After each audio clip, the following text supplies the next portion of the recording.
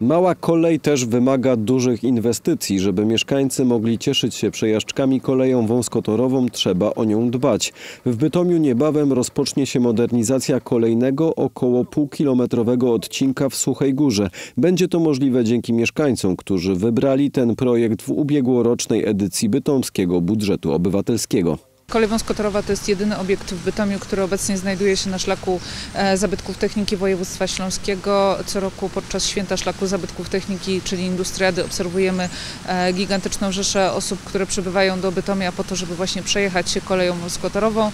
Na pewno na atrakcyjność kolei ma również wpływ e, to, że kolej ma nowy parowóz, parowóz Ryś, który kursuje regularnie i którym mogą podróżować zarówno bytomianie, jak i turyści. Także staramy się dbać o to, żeby ten tabor unowocześniać.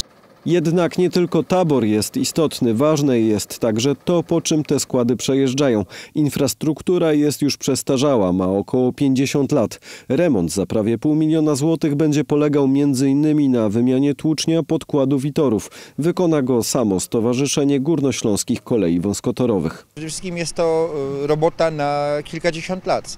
To rozwiązuje problem w tamtym miejscu. No także przypuszczam, że też nasi następcy będą się martwili o kolejny remont toru. Jednak stowarzyszenie nie zwalnia tempa i znowu stara się o wygraną w trwającym budżecie obywatelskim. Kolejarze działają dla mieszkańców, a teraz oni mogą im pomóc. Satysfakcja odwiedzających nas ludzi jest paliwem, które nas- napędza do działania. Przecież my nie zajmujemy się koleją dla siebie, tylko dla społeczeństwa lokalnego. Tak? To jest, to jest celem, celem i sensem istnienia kolei. Służenie ludności.